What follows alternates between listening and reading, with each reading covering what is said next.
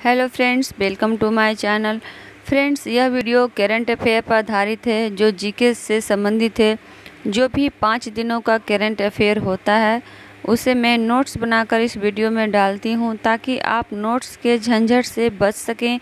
इसमें मैंने बहुत ही कम समय लेकर तीस क्वेश्चन का आंसर का नोट्स बनाया है, ताकि आप बार बार इसे पढ़ सकें और याद कर सकें।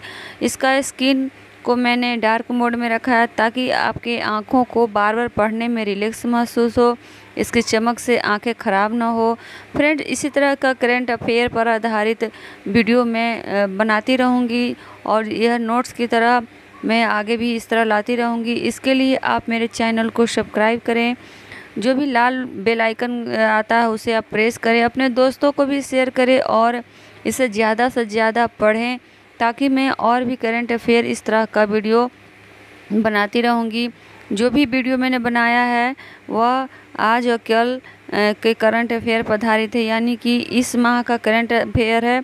और आगे आने वाले जितने भी एग्ज़ाम हैं, उसमें एक दो क्वेश्चन इसमें से ज़रूर आपके लिए आ सकते हैं। तो चलिए देखते हैं आज का क्वेश्चन किस तरह का है।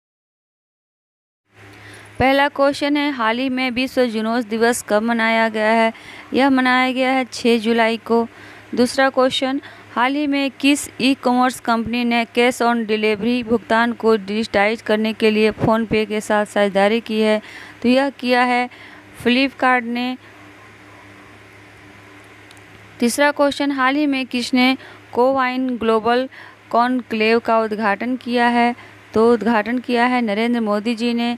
हाल ही में किस राज्य में पीएमजीके का चौथा चरण लागू किया जाएगा? तो यह लागू किया जाएगा पश्चिमी बंगाल राज्य में। हाल ही में किस कंपनी के सीईओ ने इस्तीफा दिया है? तो यह अमेजोन कंपनी के इस्तीफा दिया है। सीईओ ने छठा क्वेश्चन हाल ही में kho kho federation of India का नया अध्यक्ष किसे चुना गया है? तो इस, इसका नाम हुआ सुधाशु मित्तल। इन्हें चुना गया है। सातवां क्वेश्चन, किस हवाई अड्डे ने ऑपरेशन प्रवास शुरू किया है? तो कोचिन हवाई अड्डे ने यह ऑपरेशन शुरू किया है। आठवां क्वेश्चन, हाल ही में बानवा अंतर्राष्ट्रीय फ़िल्म महोत्सव कहाँ आयोजित किया गया है? तो यह गोवा में आयोजित किया गया। पहले भी इसका आयोजन गोवा में ही होता था। नवा क्वेश्चन, हाल ही में the fourth lion essays for Gopal Krishna Gandhi नामक पुस्तक किसने लिखी है? बेनू माधव, गोविंद और श्रीनाथ राघव ने लिखी है। दसवां क्वेश्चन, हाल ही में कहाँ गोल्फ प्रशिक्षण अकादमी का शुभारंभ किया गया है?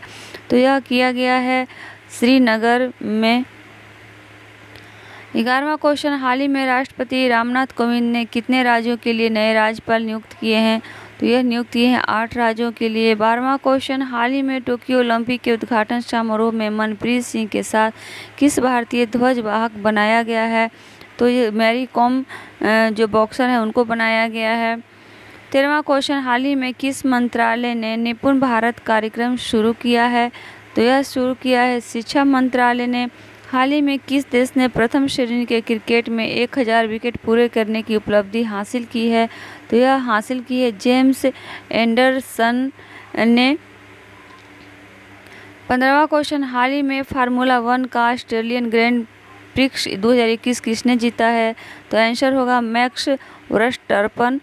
सोलहवा क्वेश्चन, हाल ही में किस देश ने फेंगयून थ्री ई उपग्रह लॉन्च किया है?